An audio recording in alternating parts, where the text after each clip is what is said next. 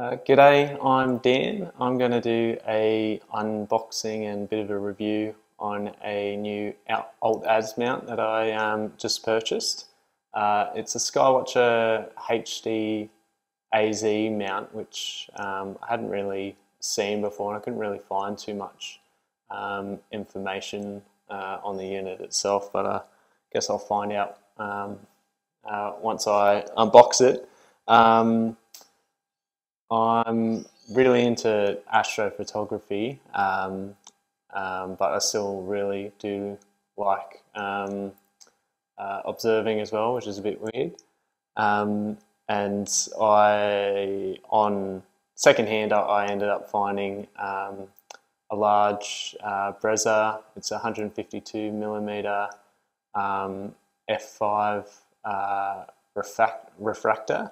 Um, it's got its uh, it's a four element design as well, so it's sort of it's meant to reduce a bit of the chromatic aberration and give a bit more of a flat field from a um, standard sort of uh, achromat. Um, yeah, like I said, I couldn't find too much information, um, but I ended up purchasing purchasing it from uh, Andrews, um, which is a, an Australian store. Uh, if you're not from Australia, um, and pretty much uh, I think I with postage it was uh, $749 uh, Australian. Um, and it accepts two telescopes handles up to uh, 13 kilos uh, comes with a stainless steel tripod um, accessory tray blah blah blah blah blah. Um, but yeah pretty much the refracted um, it's about 10 kilos, so it's pretty heavy, and I was struggling to try and find a, um, a mount that could sort of handle that weight, which was sort of local in Australia or in stock in Australia, which is quite hard to find. Uh, the the main reason, yeah, that I got it um, was to pretty much be able to um, do some visual uh, uh, astronomy while uh, while my main astro rig's um, doing its thing. Um, yeah, and pretty much uh, I just didn't want an equatorial manual or sort of go-to mount. I just wanted it to be pretty um, nice and easy. I don't think this one has slow motion controls, um, but hopefully it's um, pretty smooth and it's not too much of a issue. Um, so I'll uh, I'll get unboxing so I don't bore you that much. All right, cool. Apologies in advance as well for just echo and the dodgy mic that I've got and just set up in general, but uh, here we go.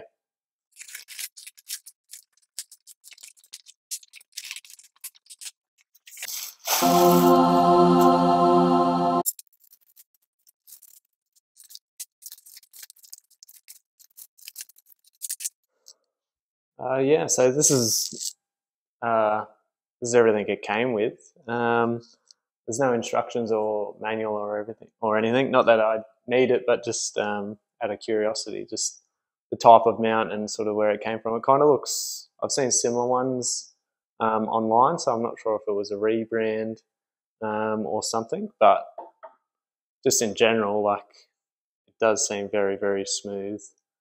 Um, yeah, and all the parts seem pretty high quality, so I'll just continue on and uh, put it together. Uh, one thing that I did notice the tripod still has like the EQ knob. Um, so I'm not sure if they sort of reused the uh, the tripod or whether this was still meant for it, but it looks like it's going to be a, a good fit, and you can see where I guess where the cutout is for that sort of that sort of knob. But uh, yeah, I'll keep going.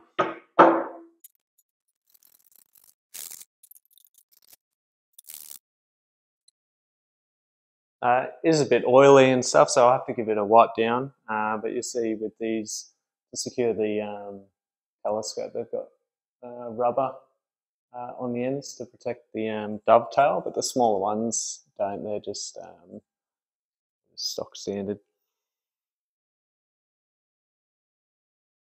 I say stock standard like I'm an expert uh, Alt Az mount person. I'm still trying to get used to a microphone because I'm trying to yell at the camera knowing that the uh, microphone's just here.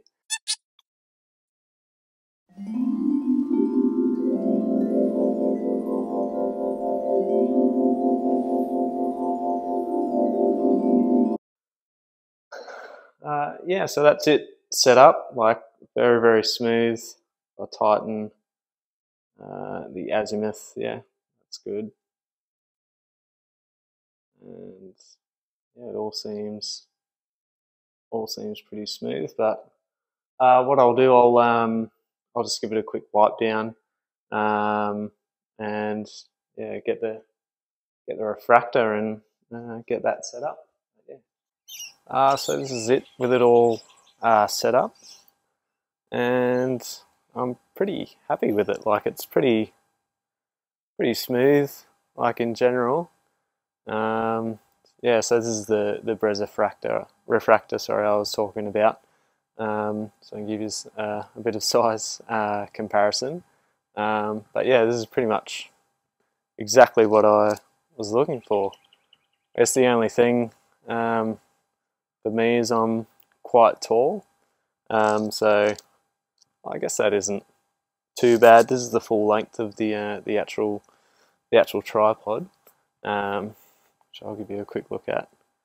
Uh, great camera skills. Um,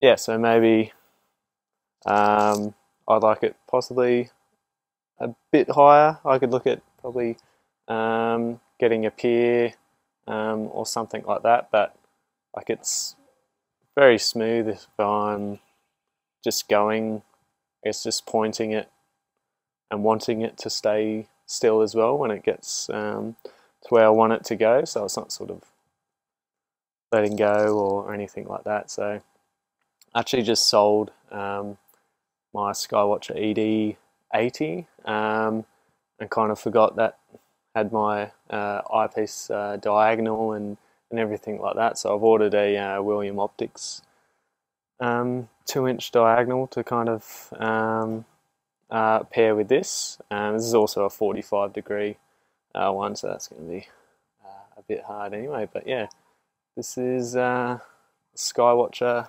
HD AZ mount that I've never heard about. Um, obviously, if you have any questions or anything, uh, let me know. And if you're interested in um, this refractor as well, um, to see, I guess, how it performs as well, um, let us know. Like I don't think these are very common either. Um, um, the person that I bought it off um, uh, had gone back to, to Sweden and left it behind, but he ended up importing it.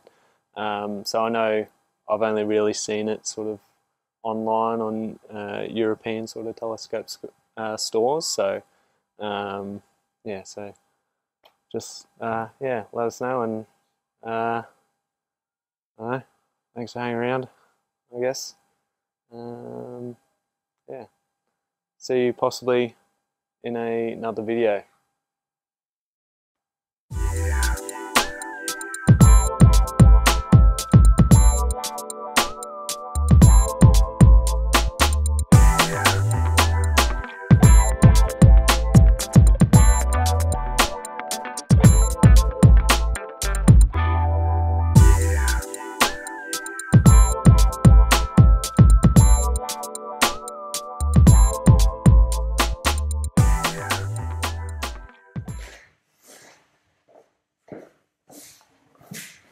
Dickhead.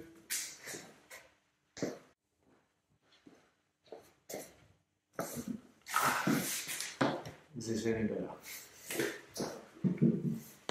Test, test, test, test, test, test. Skywatcher Alt, Alt Az mount. Um, do a uh, quick, oh, not a quick, um,